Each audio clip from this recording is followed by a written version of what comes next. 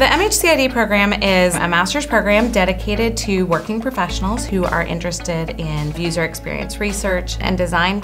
The thing that really grabbed me was the emphasis on the industry advisory board and the mentorships.